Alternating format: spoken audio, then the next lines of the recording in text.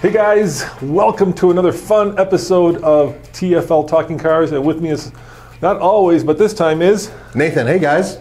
And you know, Nathan, we're here because we're going to bestow our wisdom onto the uh, many CEOs of the many car companies that we're going to be fixing during this episode. That's true. Uh, we're sorry to put you through this, guys. And bear in mind that we're just giving our opinion, and we want to hear from you by all means. So, write below what you think we should be doing to fix some of these car companies. what you think you'd be doing. yeah, but let's start off with a car company that. Let's uh, let's face it. Um, we we we've talked about them an awful lot. Actually, actually, we're going to go the other way. We're going to leave that car company to the end. So last week we did an episode. This is part two. Called, oh, this is yeah. Yeah, this is how we fix Nissan and other struggling car companies. Well, today, Nathan, we're going to be talking about this is how we'd fix Jaguar Land Rover and other struggling car companies. But we're going to leave that for last. Uh, first, we're going to talk about Buick. Yes. Then we're going to talk about BMW Mini and then we're going to talk about Ford and then JLR at the end. So, if you want to know how we'd fix all these, well, sort of kind of struggling car companies, come on back right after the intro. Sit back and relax or keep driving if you're driving. TFL Talking Cars is on the air, the world's most popular car podcast. Okay, maybe not yet, but we're working on it. All right, Nathan, um, let's start with Buick. Buick used to be a car company. Now they're a crossover company. I mean, let's face it, that's exactly what they're doing. And there are two different uh, places where you could put this. I want a Buick crossover. I don't want a Buick crossover. Seriously, that's really where everybody is right now. Buick used to build cars and some pretty good cars too. I actually do, I thought the Regal was one of their better cars, especially for handling and for packaging. It was great. And they had a wagon Remember that wagon? The, um, the was the the Tour X or whatever it was called. Yeah, you liked that quite a bit. I liked it. Didn't sell. But let's yeah. before we get to that, let's take a, like a big step backward and rewind the clock back to well 10 years ago. Mm-hmm. Uh, you remember uh, 10 years ago when the auto industry was in a tailspin? Uh, we had gone from selling something like 16 million units, which is cars and trucks a year, to 10 million. Mm-hmm. About half of the uh, car sales just evaporated. Uh, and GM was sitting there thinking what car brands to keep and what car brands to sell, right? Right. And so uh, they flushed a whole bunch of, which I think really cool brands, Hummer. They got rid of Hummer, they got rid of Pontiac, and they got rid of Oldsmobile. Yeah, but they kept Buick. And you know why they kept Buick? Well, Buick was selling well. In China in China, but also here in the no, States. It was no, selling well in China. Yeah, they're, well, they were, they're, they're still doing quite well in China, which is probably their saving grace. Uh, but here in the States, Buick sales numbers have been fairly stable even through that financial downturn. The thing is, Buick is no longer quite the Buick that it used to be. Yeah, there was this old thing, right? GM had this old kind of marketing strategy that, let's say you were um, the everyman, then you'd buy a Chevy.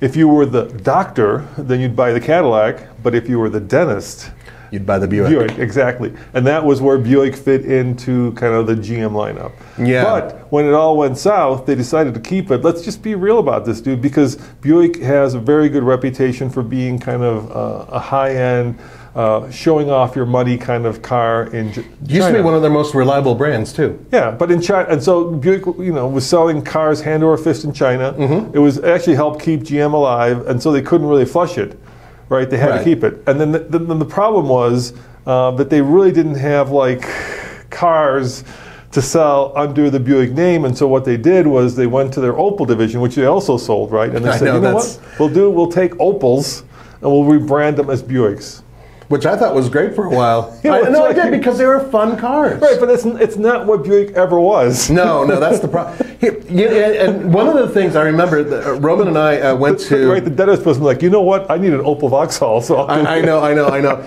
So Roman and I went to this event, an ice driving event. Remember? Yeah. Uh, years and years ago, it, it, was for the new Buick Regal GS with the all-wheel drive system, and it was actually a really fun event. We went to like, Nova Scotia. Where, where, where did we go? Anyway, we went. We went uh, east. And yeah, while we, we were there, yeah, it, was, in Canada. It was and, in Canada, and, yeah. and, while we were there, and we were driving and filming and having a really good time and doing our thing, um, I decided to ask the marketing person at the time about it, saying, you know, um, Buick has never really been known for for you know exciting sports cars, and they brought up the one Buick that everybody knows was a fairly exciting car, the Grand National. And I, I was trying to be polite, but I was like, dude, this isn't a Grand National. I mean, that, that was a very different car, and that was like a one off thing.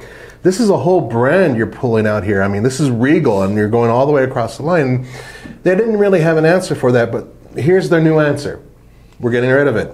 Anything that has a trunk is no longer being sold by Buick, and I think that's a mistake. Yeah, I, I, think what happened was, you know, the company lost its brand heritage, right? Mm-hmm. When you started, when they started rebranding Vauxhalls as Buicks, Opels as Buicks, uh, and then, then reselling them here. You know, the Cascada, right? Mm-hmm. Remember the Cascada? Yeah, well, it wasn't a terrible car. No, well, actually, it's just bad timing. I actually like the Cascada. I, I think a bad I'm, name. I think I'm the only person that likes that no, car. No, because you like convertibles. You have hair. You, you can enjoy it. but you know, but I, I, remember driving it to Key West. You know, I liked it.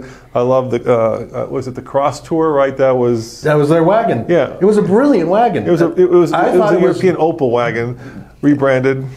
Once Better again. than most crossovers. And then remember uh, the uh, little uh, sporty. Um, oh, the, the Ven, Ven, uh, Verano. Verano. Verano yeah. Turbo. It looked like the from the back. It looked like Angry Birds. Remember that? Yeah, yeah. The Verano was. Uh, yeah, that was that that that car had issues. It was it was basically a uh, rebranded uh, Chevy Cruze.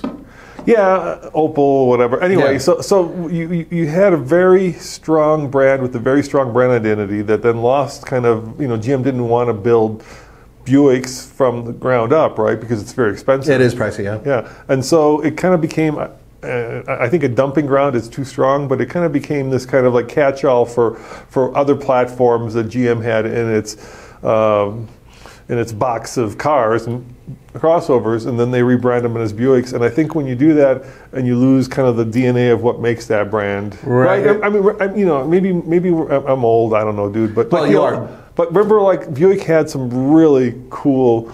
Uh, classic American cars, big cruisers, big and, cruisers, yeah. right? These were cars like you know, like like once again, if you were the dentist and you quite couldn't afford the Eldorado, you could get yourself an Electra, right? Remember those vehicles? Oh, I, I, I do, I do, and actually, I had some family members who've owned them, and Buick had their own brand identity. They had their own feel to them.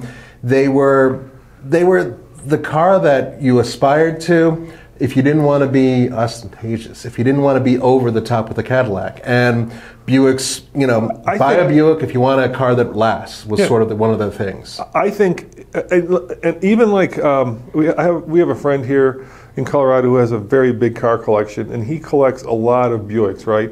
That's his thing. He collects weird, kind of strange brands, but he's got a lot of Buicks. And the reason he collects old, like muscle car era Buicks is because they were always better built than like the Chevy equivalent, right? Mm-hmm. So they always put a little bit more engineering into them. Yeah. Uh, so they were a little bit more, you know, robust. They were a little bit more. Uh, uh, and th- that's what Buick stood for. And I, and I think when you know GM decided to keep Buick and uh, not keep Pontiac, if it had been just from an American point of view, not from a you know global point of view, then I think Pontiac would have been the much stronger brand. Well, Pontiac keep. was sort of their excitement brand. in fact, that's how they marketed them for years and years and years.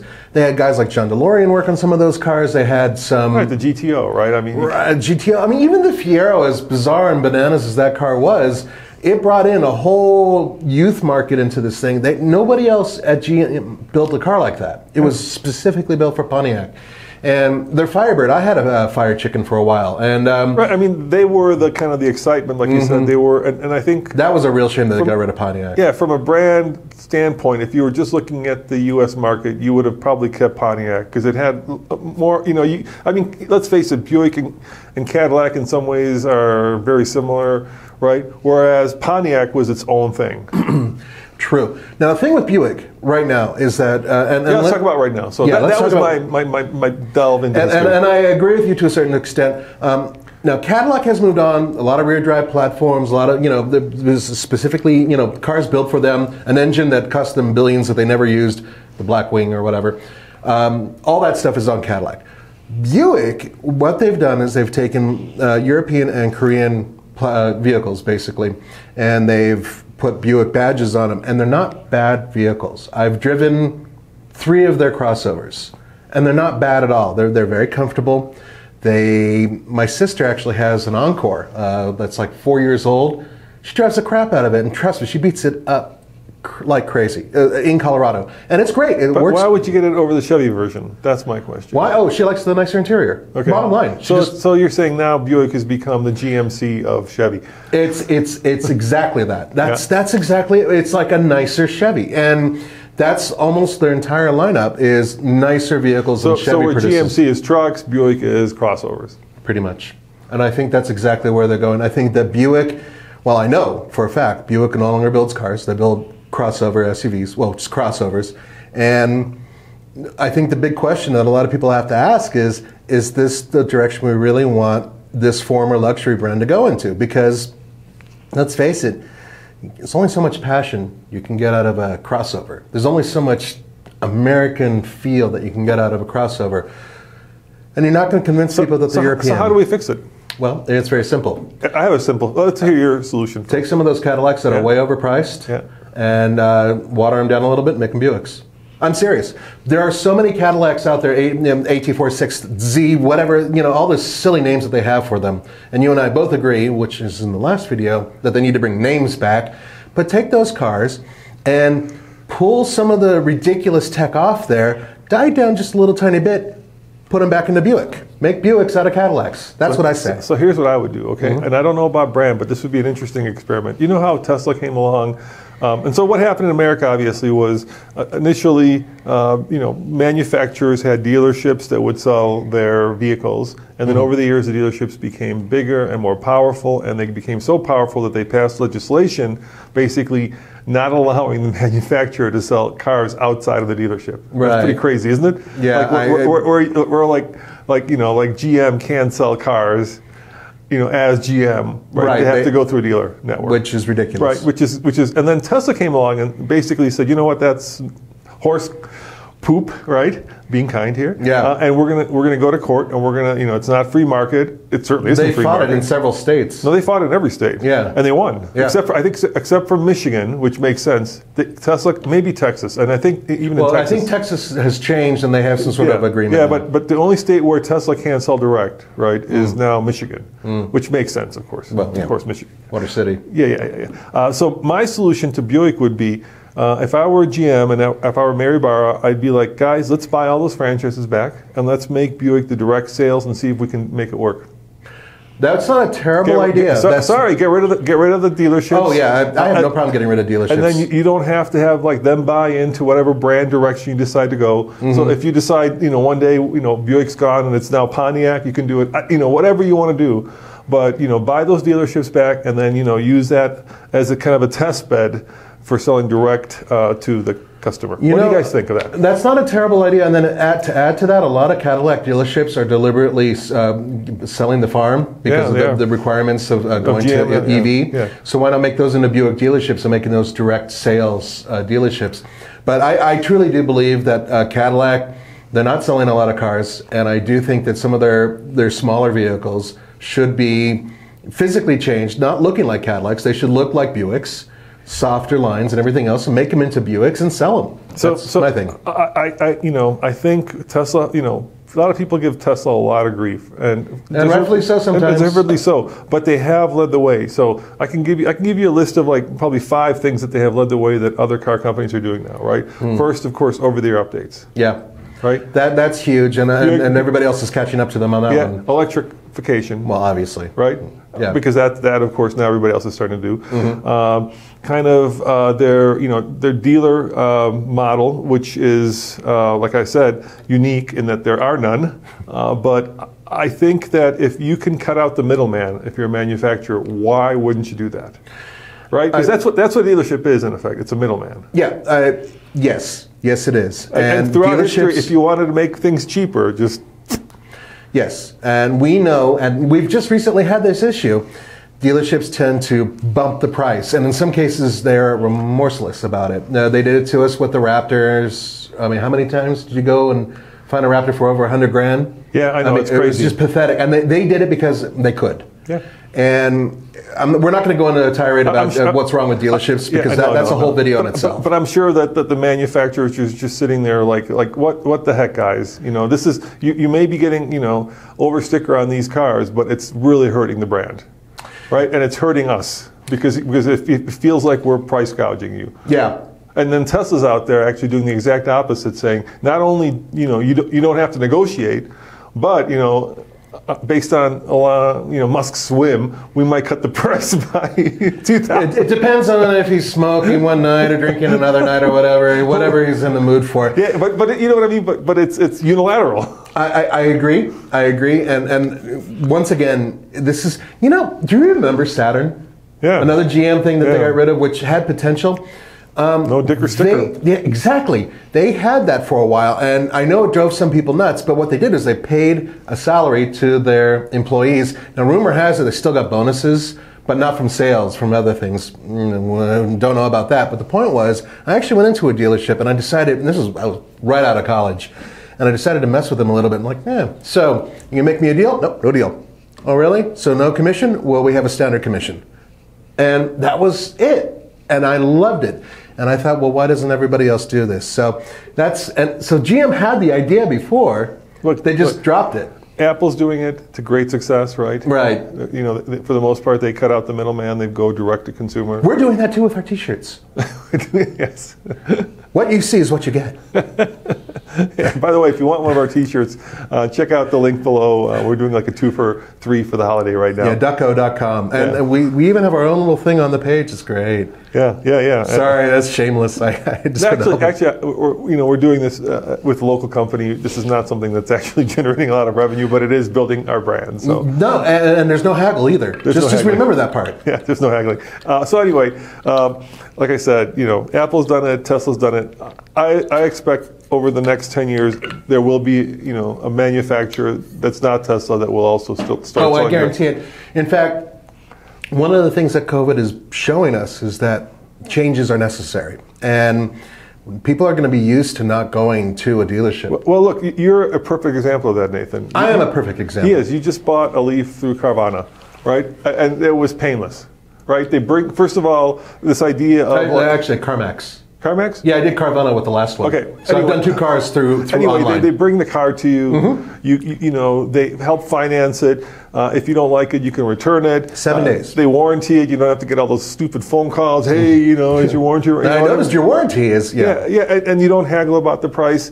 And you know, sometimes just that less stress is worth the extra cost, right? Where they bring the car, you know, you don't have to deal with all those layers of like dread that most people have when they walk into a dealership. Right, right. And, and you know what?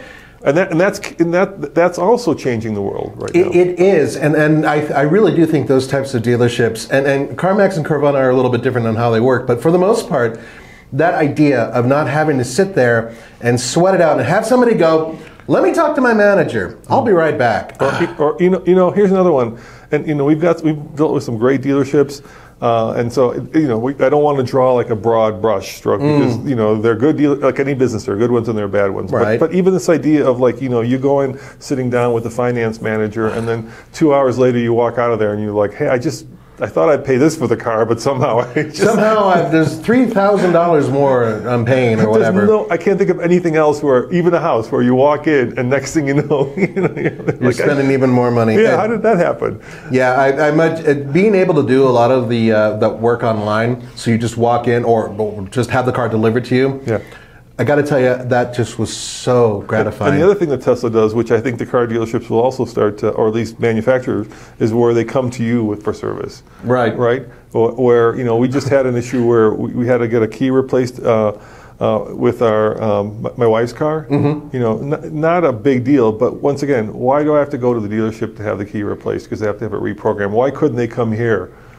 It's a good know? point. right? Tesla would do that. Tesla would be like, yeah, well, there, schedule, Well, schedule. Are you kidding? They're used to coming here. Hell, I think Tesla could probably uh, remotely open the car. They probably have They something probably where they could. trigger it or whatever. Yeah. Um, right, let's uh, Let's move on because yeah. it's not about Yeah, Tesla. yeah, uh. But, but I agree with you on Buick. They really should make a dealership change. And I seriously do think that they should sell a version of Cadillacs out there so they can come back to the car world.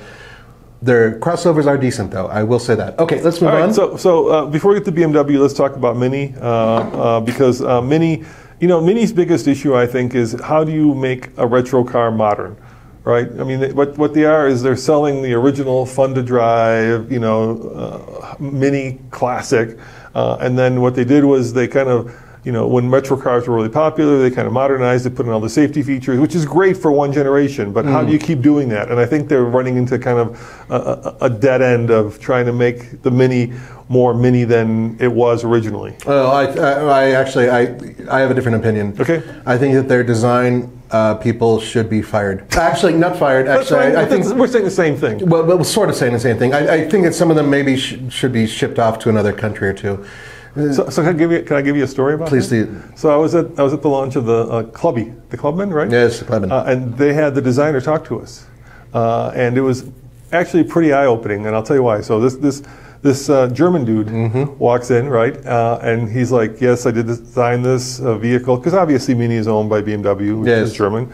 Uh, and, and to get myself kind of into the, the brand and into what Mini represents, I went to like their version of flea markets, you know, and I really immersed myself in British culture. And, He in the- ate fish and chips. and in the back of my head, I'm screaming, "Why don't you just get Hire a Brit. Hire a Clubby?" for crying out loud. I know. He, he was born into that culture. Why is there a German I- dude going to like flea markets to figure out what Britain is? Do you remember one of the first times I realized Mini was in trouble? Actually, goes back a few years. You and I tested this vehicle, and both of us agreed it was one of the worst ones they've ever built, which was the Coupe. The coupe, yeah. Which no, so what they did was they took a Mini Cooper, and they re, they, they removed the, the you know the, the seats and made it smaller, and then they made the top, and this is what it's supposed to look like. Watch me here. yeah, like that. This is what it's supposed to look like. Because a baseball cap Half- is, is so British. reversed. So this is the Germans thinking, what is very British? I tell you, it's British. We take a baseball cap, an American baseball cap, we put it backwards, and boom, we have ourselves a new mini. yeah We'll call it a rugby cap. Well, it's a rugby cap, yeah.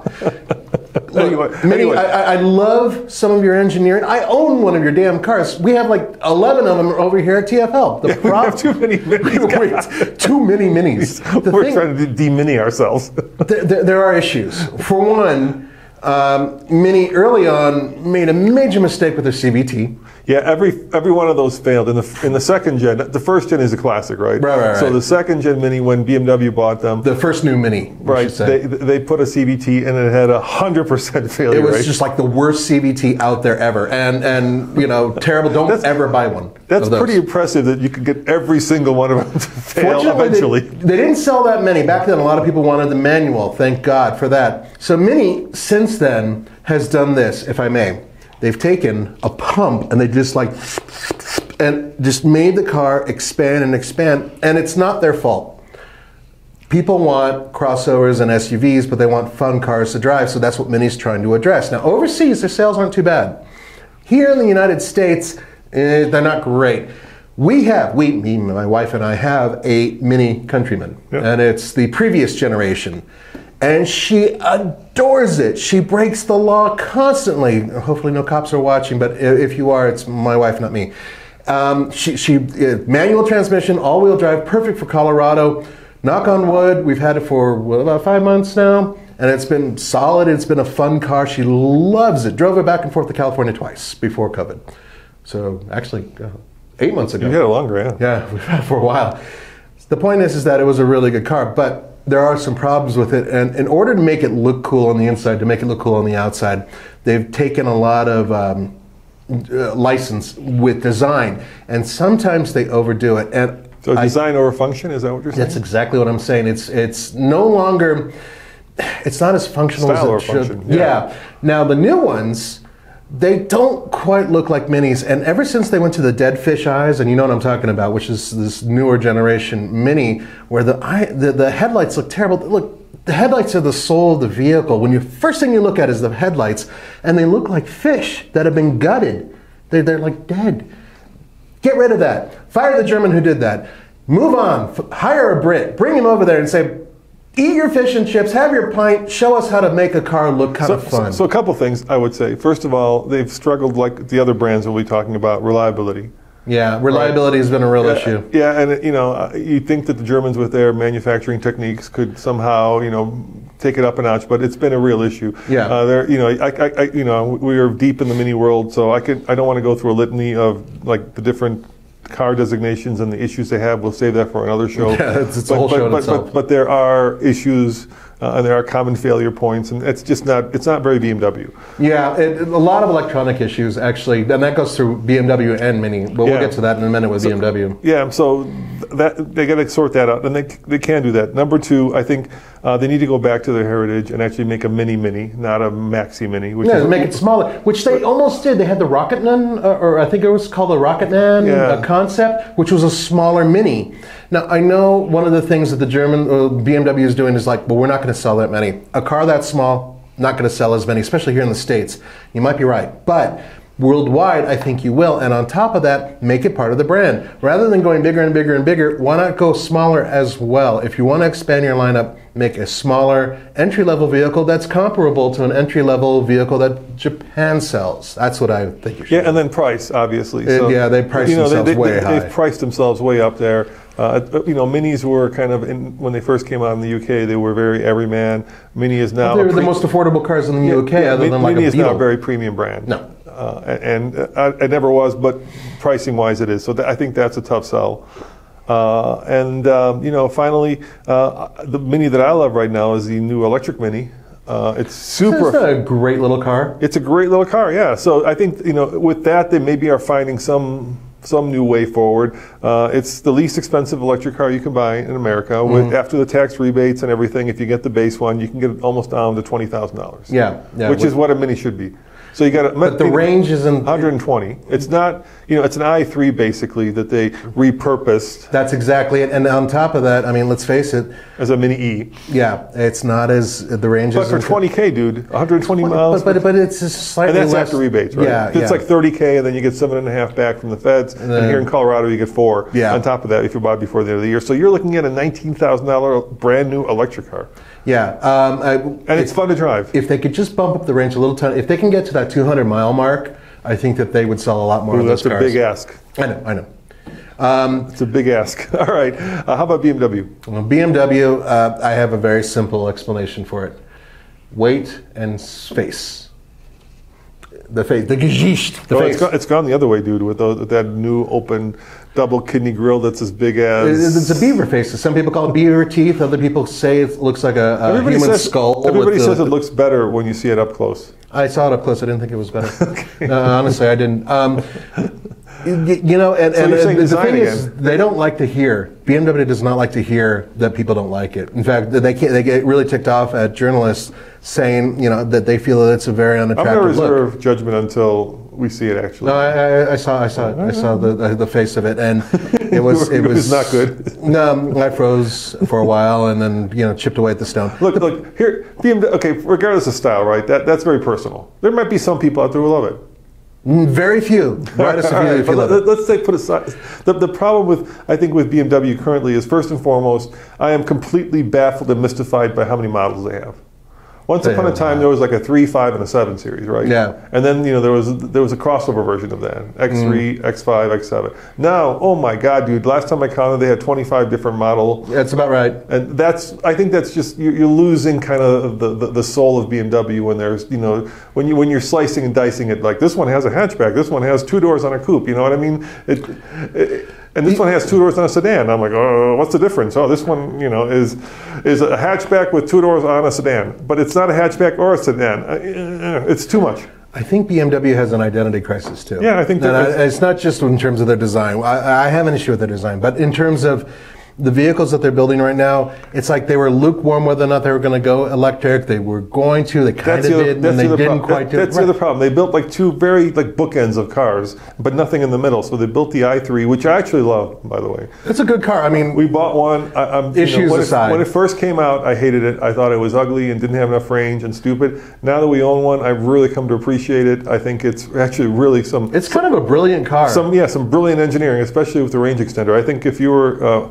Ford, which we'll get to next, you would build your next pickup truck with a range extender. Just saying. But anyway, um, new electric pickup with a range extender. But so they did this kind of the, the, the base one, which you know, fifty thousand dollars isn't base, but for BMW, and then they did the i8, which was brilliant in terms of its design, but not so great in terms of its actual drivetrain. Right? It had a mini three-cylinder with a battery, and it, it, you know, it it it it. it, it it couldn't cash the check that it was that it was trying to pass along. And just that- looking at them, though, it was such a beautiful yeah, it car. looked like a supercar. When you got in the thing, it wasn't that It wasn't supercar. that super, but I. St- it, was wasn't a supercar in terms quick. of getting in and out of. Uh, both Roman and. I both had to do, you know, to limber up to get in. Paul, he could just jump in there, but he's also only four feet tall. But you see what you see what I'm saying? They're, they're like bookends. Yes, I, and they're and but and they never fully committed to going full because they were going to for a while. They're going to do a full electric three series and everything else years ago. Yeah. they were talking about it and they didn't do it. And And then Tesla came along and basically took the 3 Series, that mid-sized luxury sedan, right, Mm-hmm. or small luxury sedan segment to, for themselves with the Model 3. And Yeah. BMW all of a sudden, you know, for the longest time, the, the 3 Series was the standard, and all of a sudden, it's not selling anymore. I think that the management at BMW needs to be shaken up, uh, like really truly shaken up. because for a while they were like, hey, They were the best in the world. here's the coolest electric cars, we're going to build them. And then they were like, oh, electric cars aren't the future. And then they completely flip flopped and they said, now we're going to be doing electric cars. So which is it? That's kind of the problem. And then on top of that, there are cars that are currently selling today. Yeah. The the platforms in some cases are very heavy. Um, they have had a lot of technical issues. Reliability is not great. BMWs used to be pretty damn solid. Not anymore. And what's happening is both Tesla and to a lesser extent Mercedes Benz are eating their lunch. And they are doing a very good job updating and doing contemporary cars. BMW seems to be sort of waffling a little bit and just kind of floating around. It's maybe like they're waiting to see which direction they should go into. Yeah, I mean, there isn't, you know, there's a new electric car coming. Uh, I actually was watching some, I, I'm, I'm into weird sports, Mm-hmm. so I was watching deca- the decathlon where, you know, where you cross country ski and shoot. Oh yeah, yeah. Yeah, I was, I, I, you know, love that stuff. And they had the new electric car there, you know, in Europe it's already there. Yeah. Uh, so it's coming. It's a new electric, all, all electric crossover. They're saying, you know, it will compete with the Model Y, Mm. uh, probably the Volkswagen um, ID4. I would imagine it'll be far more expensive than the Yeah, yeah, ID4. but it, it's in, in that- the same segment. Yeah. Though. So Yeah. It, it is coming, but um, yeah, I think they need to. I think you're right. I think they they need to figure out which direction they're going and go with it. BMW used to build the best driving cars in the world. I mean, I, I still remember driving the Z4 when it, the new one uh, when it came out with the hardtop convertible, and I, I didn't like the old one very much, the Z3. So I drove the Z4, and I was just thinking it had a manual transmission, straight six turbo. It was great. What a fun car that was! Just phenomenal. And I kept thinking. If BMW can keep doing this, making me feel this good about driving their cars, they'll have no problems. Yeah, just you know, let's face it. You know, a lot of the electric cars, uh, especially Tesla right now. Um, you know, in a straight line they're quick, but around a track, um, don't don't send us emails, all you Teslarati. We know they're not great around the track. They're just not. They're, they're, You could tell they're figuring it out. They haven't quite gotten the their kind of chassis and suspension They're not as, as exhilarating to take around the track, and, and we have that from a professional race car well, well- driver. Well, the, the dirty secret to any Tesla is it will derate itself because it will start to overheat because it's putting out so much energy, right? Mm-hmm. That in order for it to basically not catch on fire, it has to derate itself. So Right. you take any Tesla around a track, for, forget about the you know the dynamics of it. It will derate itself, and it will derate itself after one or two laps. Going back to BMW, BMWs around the track, the equivalent cars are much more fun still to take around Yeah. the track. But I go back to the whole thing about the platforms being kind of heavy, the electronics having issues, reliability being an issue, um, and overall they just need to, I think, I, I think change direction. Yeah, pick a direction and you know just stick with it. Yeah, and, and, and stick with it and commit to it. I'd love to see an all-electric BMW uh, that actually performs well. And Once Here in again, the States. Once again, I'd love to see an all-electric sports car. The last one was a Tesla model uh, Roadster, right? And since then we haven't had anything. So This was over like a decade ago. yeah, exactly. All right, Yeah. let's get to the big blue oval, Nathan Ford. Now Ford doesn't need a lot. They, they've made a couple. No, no, this, is- this is uh, you and I are very different on this. I was really against them completely killing off their cars, So in America, uh, you probably know this. Ford has committed to not building cars anymore. except for the Mustang. Yeah. So the Mustang and the Mustang is a great pony car. Every single one I've driven, even the four cylinder, I've loved them. They're great. But they no longer build a passenger vehicle that is considered a sedan. They're gone. No wagons, gone. No economy cars. And they had a really good economy car. We had one. We had their little tiny uh, Fiesta. It was a great little car. It wasn't perfect, but So- it was a great little car. So once again, let me take some perspective on this. So, All right, please. So, so once upon a time, before before you know it all went to hell back ten years ago, Ford used to build like a different car for America with the same name that it built for Europe that it built for Asia, right? Mm. So they would build these cars that were same name, Focus, but they were very different cars. Yeah. Uh, and then the company, you know, uh, was the only company that didn't actually borrow money. They, they actually mortgaged their brand, I think, for 25 billion dollars, right? And then they brought in Alan Mulally, who was the at the time CEO of Boeing, I think, to restructure the company. Yeah, and, he did and, a fine job. And what he did was he, he created this uh, um, one Ford strategy. And he said, we're no longer building different cars, so the focus is going to be the same car in Europe as it is in America, as it is in Asia. Mm-hmm. Uh, and, uh, you know, people don't need necessarily different types of driving dynamics. We'll just do one really good car. And you could see it, right? You could, there was a moment in time where there was like old Ford and new Ford, right? Mm-hmm. Old Ford was a lot of like, you could see like the, the, the, the cost cutting.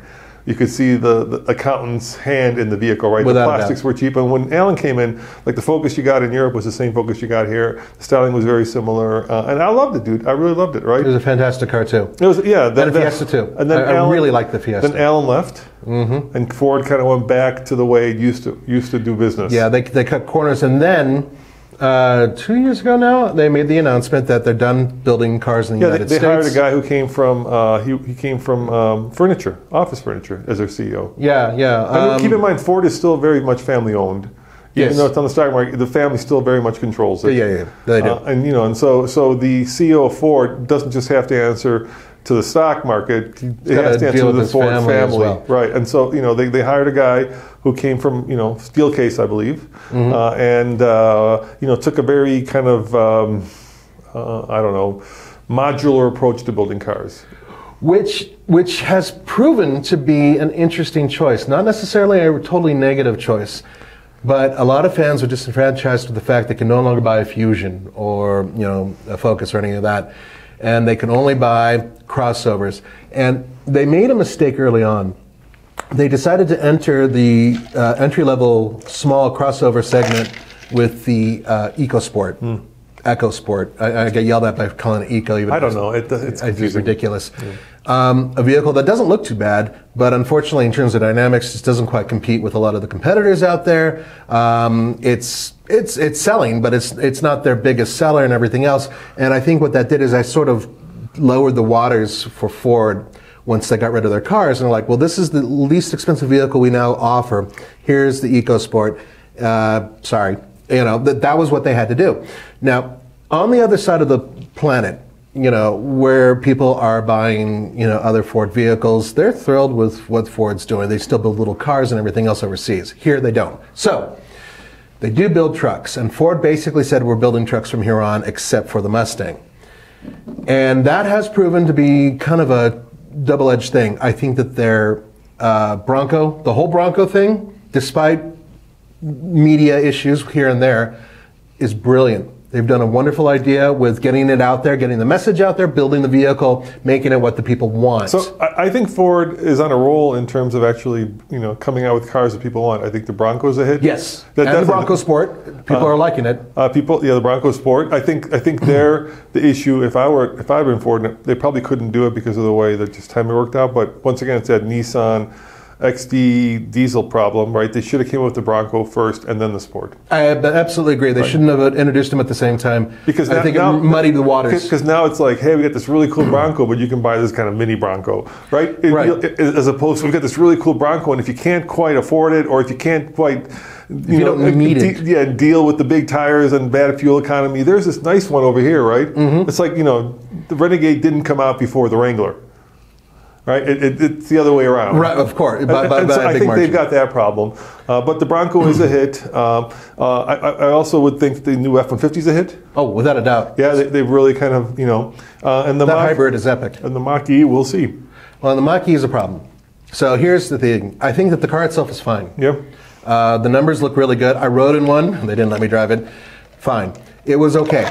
Um, it's sort of a little SUV-ish, hatchbacky type thing, and it's sort of a car, so that's nice.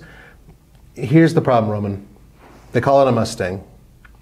They should have never, ever, ever called it a Mustang. It's a great electric car from all the numbers that I'm seeing. I haven't driven it yet. But it should not be called a Mustang. The Ford Mustang thing, there's a lot of fans out there that are really ticked off about it.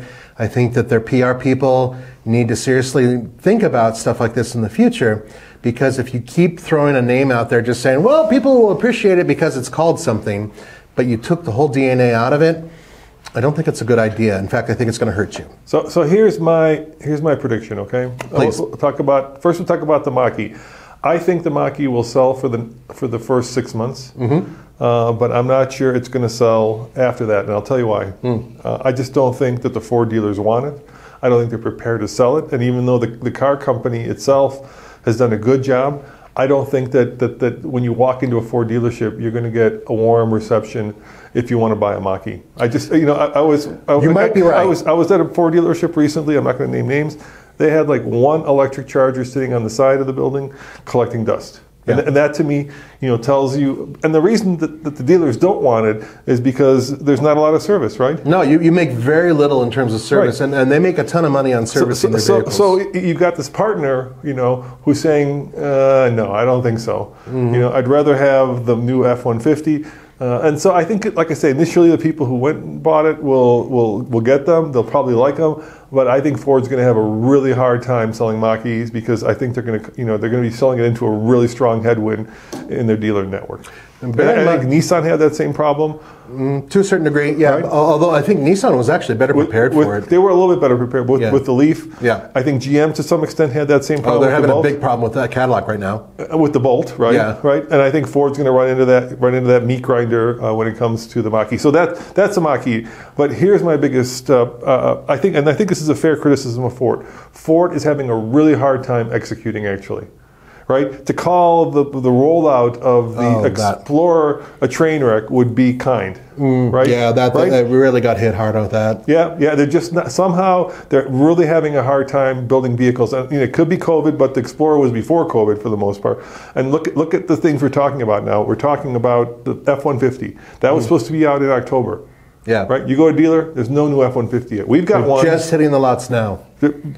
Maybe, just. maybe, Yeah, maybe. I, I got a report. Yeah, maybe, yeah. maybe, but they should have been out, right? And, No, and, and last month, Ford pickup truck sales, which is the goose that laid the golden egg, fell 49%. Yeah, now part of that is COVID, but the other part is you're right. Though the rollout has been delayed by so long, Bronco just got delayed. Ah, Bronco got delayed yet again. Yet again. And then there's a lot of fans who are really upset about it. Now, once again, they're doing their best to try to make these things happen. And these but are like self-inflicted wounds, you know. Yeah. You know, so if, if you you know you've got this, there's two parts to it, right? You got to get the car right, which they did with the Bronco. You got to get the truck right, which they did, but then you got to actually execute on it. Mm. yeah, you got you got it. Your fans are going to And they're going really to go somewhere else and- if, if and they the have to wait too long. really hurt them.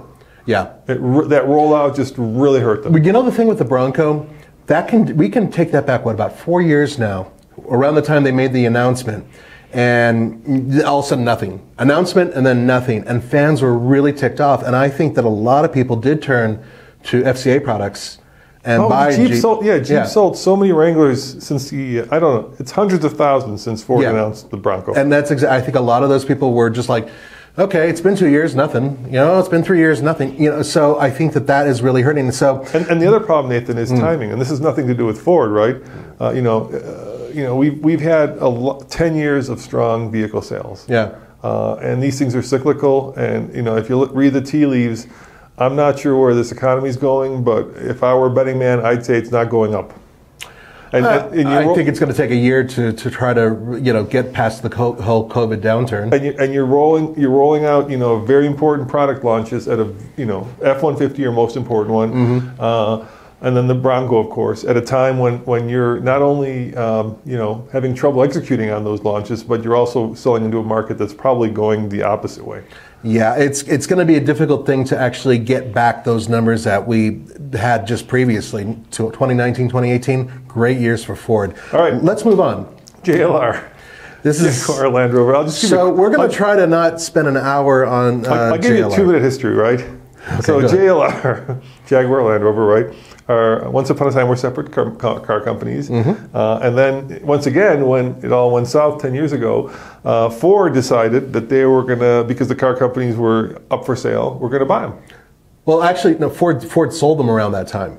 No, oh no, that, they bought them ahead of time. You're right. Way- first, yeah, way so before. first, for, so Ford first bought them. I apologize. You're right. They Yeah. bought them, and then they combined them into what they call their premium automotive group, right? Mm-hmm. So they had uh, Jaguar, Land Rover, and Volvo. And Volvo, And they yeah. kind of combined them. Yeah, they, they did a lot Right, of part yeah. sharing and everything else, which wasn't necessarily a bad No, thing. no, no, it was like a premium automotive group, right? Right. In terms of their strategy. And then you're right, 10 years ago when it all went to hell, Ford decided, well, we need cash. Mm-hmm. So not only going to mortgage the brand, but we're going to sell off these things. So they sold off JLR, Jaguar Land Rover, to Tata, an Indian company.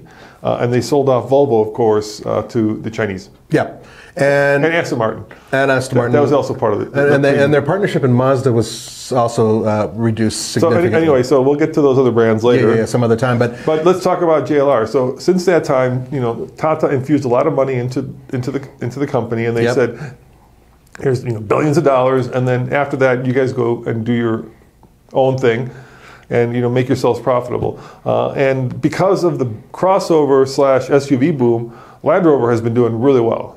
Right? Yes. Any, any car company that, that in the last 10 years that does nothing but sell crossovers because that's crossovers have gone through the roof has done extremely well. And that includes Jeep. Yep. And that includes Land Rover, right? oh yeah, Right? Because that, they, they don't have any cars. no, No, they only have crossovers and SUVs. right. And overseas, their numbers are quite good, and, and in the states, some of their numbers are pretty So, decent. so, so let's put those guys aside. And then in the meantime, you know, Tata or JLR decided that they were going to combine the two, not just in terms of their name, but also in terms of their dealerships. So now you've got a situation where you've got Jaguar and Land Rover dealerships stuck together, uh, and it's a very difficult situation for the dealers because Land Rovers are selling and Jaguars aren't. yeah. Now, and, and, and you know, so it's like you walk in there and you've got oh, you've got these two brands, and one of the and, and there's also a whole other thing: Land Rover, Range Rover. It's very confusing, but but but anyway, the Jaguar part of the JLR is not working. So let's talk about that first. Why no- isn't Jaguar working? the only vehicle that is selling that F-Pace. is, and that's basically you know The crossover. In order in order to build an, a sellable vehicle f- in the United States for Jaguar, they basically had to build something very similar to a Land Rover, and I mean that's what they basically had to do. And their F Pace is um, their crossover. Yeah. And it, it Mid-size crossover company. it's it's it's sort of a the Jaguar of crossovers. We love it. I, I've driven several of them, and every single one is enjoyable to drive. They are, I think, decent looking. But the problem is, is that Jaguar is not an SUV company. Jaguar is a car company. It's always been a it's always been a very strong brand for a car company, right? People when they think of Jaguars, they think of like uh, not the F Pace, uh, but they think of the D Type. Yeah, yeah, right? E-types and E-type, D-types. right? That's what they think of, right? The convertible Yeah. two-door sports car, and and so it's really hard to turn that ship around and say, hey, we're no longer the two-door sports car because nobody wants two-door sports cars. We're now selling crossovers. And you know what the problem is? It's it's the opposite problem that Mini and, and um, uh, BMW have in one respect because I think that some of the designs that Jaguar's coming up with is, is okay. F-Type is brilliant. brilliant, beautiful Brilliant, cars. yeah. Their cars look great. Their interiors are beautiful.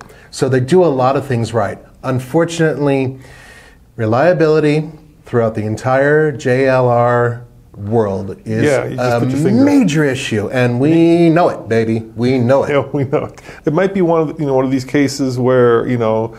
Um, uh, you know the, the squeaky wheel gets the grease, Yeah. and not all wheels are squeaky. But but the problem in real world terms is it doesn't take a lot of squeaky wheels to establish a reputation. That's a real problem. So what we're basically proposing here to fix it, because this is part of the podcast, is what we're going to do to fix it. Um, your designs are beautiful. The interiors are great. They handle awesome. You need to fix your reliability, so you need additional investment to figure out exactly what's going on, what's going wrong, and how to fix it and take care of it and make a huge announcement. Turn it into PR. We are now far more reliable. Make it So- very British when you say it too. So you know, you know what? I think I think one of the one of the things that's hurting these guys is they're actually a small company compared to like other companies, right? Compared to Toyota and Lexus. Let's Right. compare- I mean, that's the world's biggest company, and they're in a way uh, uh, not on the cutting edge, but sometimes on the bleeding edge of technology. Right. So a lot of the technology that goes into these cars is really cool, right? Uh, and like I remember like seeing that the act, activity key that you get with Oh, yeah, yeah, the armband thing. the armband, right? That, Yeah, that's that's kinda cool. like our Defender is a classic example of that. The camera where you can see through the hood, That's really cool. right? Or you can see, you know, like, like not just the, the bird's eye view, but it's like a movie camera where you can actually spin it around. You can, yeah. I, I mean, it probably is useless on the trails, but it's really cool tech, and I'm people saying this love is, tech. This is really cool tech, but it's really cutting edge tech. I mean, there's a reason that Toyota Tacoma still has disc brakes, you know, on the back because because they're reliable and they work and they you don't mean, you break. mean drums? drum brakes, yeah, sorry, Yeah, yeah. drum brakes on the, on the rear wheels, right? Because they're Or, reliable. or a five-speed automatic transmission on the 4Runner. 4Runner has a five-speed, right? Yeah, it right. works. They've built hundreds of thousands of them, and they don't break. And so maybe, maybe I would, I would kindly suggest that maybe you guys need to kind of just take a step back and, and uh, you know, maybe not be so cutting edge because the cutting edge stuff is always going to be problematic. You, you know, I And that's what happened. You know, our, our camera module died. first thing that happened was the camera, and then all the other issues. Yeah, well, yeah, yeah. we have we, God, we had so many. Here, here's here's I, I picture this. I picture that some young guys came into the JLR office with new designs and new uh, showing the tech, saying, "Look, we have this. This is brand new tech, cutting edge. Nobody else has it. Put it on your vehicles. You're going to sell a million of them because everybody wants this tech." What they neglected to mention is, well, we haven't really done that much testing with it, and we really don't know about how reliable it is. But they kind of left that out. Well, they I'll give, you, I'll give you a good tech. example of that. So the second one, the second Defender we had, uh, was made um, redundant, as the British like to say. No, was was, was died because we, uh, you know, had asked for a winch, uh, and they had tried to incorporate the winch. And now, if you get a winch on a Jeep Wrangler, right? It's a pretty straightforward process. You pull off this big bumper and you stick on a different bumper that's winch Yeah. ready, and you stick the winch on top of it. Yeah, yeah, they hook it up to the electrics. and Right, a and, and just couple right, hours barely right. worth of work. With, with the Defender, right? They've, they've they've done such a magnificently beautiful job of integrating the winch into the front fascia that you can't tell it's actually a different front fascia, right? Right. But because of that, you know, that styling, design. Uh, uh, requirement, it's a really hard thing to do. Uh, there's a series out there which we were watching, uh, uh, and they were actually trying to install the winch on the front of the vehicle. You got to pull that whole front end off. The You gotta- entire front end has to come off. come Yeah, off. I You got to cut things. You got to, you know, I mean, I mean, I could see why why that dealership cut through, uh, you know, a, a harness because it's a very complicated job, right? Mm-hmm. It- it's, it, you know, it's the exact opposite of pulling a bumper off, slapping another one on, you know, tightening a couple bolts and going. So, so, so maybe guys don't don't get so stuck on the design of it, but you know, make it a little bit simpler and easier. Well, the bottom line here is that they built the Defender, and I didn't want to sit here too long and, and, and jump on the Defender because we still have one, and we're going to take it off road and we're going to drive it, and hopefully everything, knock on wood, works, and we'll have a wonderful time. But if you're marketing a vehicle, seriously marketing it and taking people to what, Marrakesh or whatever, where, where do they take them for that press event that we didn't go to? The Middle East somewhere. Anyway, the point is, is that if you're going to take people and bounce Namibia, around off road, Namibia. N- Namibia, that's right. If you're going, so it was the middle, uh, Africa. Anyway, off road, pound this vehicle, built to be pounded. Then you need to make it so it can actually have these off road accessories that you've shown with concepts so people can actually do that, even if they never use a winch. And I know that some of you guys are arguing in your JLR office, nobody's ever going to use that winch. We'll have one out of a thousand people use that winch. Doesn't matter. The fact is, if that's what the people want, you need to provide it and you need to make it easy to put on. Maybe make a modular component that'll just pop right on there. Of course, then again, that's more tech and that's, that's more tech that can go wrong. But my point is, if you're going to build a vehicle and market it towards a certain class of driver, you need to take it up I mean, they were re- they were really ambitious, right? With They're all the- extremely ambitious. right? With the winch, with the uh, a snorkel, you know, with the, Oh, the- rack, box on the side, which the is still kinda weird. It's, just yeah, it's just you know, uh, I- I- and I applaud that. I love it. It's cool, but maybe maybe you know, Make it work? Maybe I'm sorry, but that's the bottom line. Make it work. So if you are, you know, in the brain trust of JLR, consider this. If you have a market out there where people are seriously going to beat up the vehicle, make sure that it can handle it, and more importantly, make sure that those same people can get what they And, want. and we're not even talking about the fact that like the new Defender is not um, spiritually in many ways even related to the old. Defender. oh, it's not at all. I mean, it doesn't have solid axles. It doesn't Yeah, have the yeah, same. I, I mean, you know, if if we really were, you know, looking at it in, in, a, in a kind of uh, hard-eyed, steely-eyed sort of way, I would say, why didn't you make the Defender like what it used to be, right? No, Just make it simple, make it make it because they have a platform, they're gonna and they want to save some money, so they're going to use their. Maybe the new 80 is going to be right. There's a new ba- there's the 90, and then there's a new 80 coming, which is supposed to be But you know, That- but to, gonna be me, you know. If you look at like, if you look at if you look at the Wrangler and you look at the Defender, right, the, Land Rover, they started in two similar places, right? Right. They were ag- agricultural, agrarian kind of things, but the Jeep has stayed to that. Right? Yeah. I mean, sure, it's got ABS and it's got you know all these safety. Well, it's got a lot of features, tech now. but it's pretty much still a, a, a dedicated off-roader. The, the bottom line with, with the Wrangler, if you're going to compare the two, is that the Wrangler still has the DNA of what the original Wrangler did, and the, then going to the back Defender to now directly competes with a Land Cruiser more than it does with the Wrangler. I mean, Mm-hmm. There's no other way, right? It- Yeah. Even price-wise, they're, they're yeah, yeah, completely different vehicle. And the old one didn't. The old one was this, you know.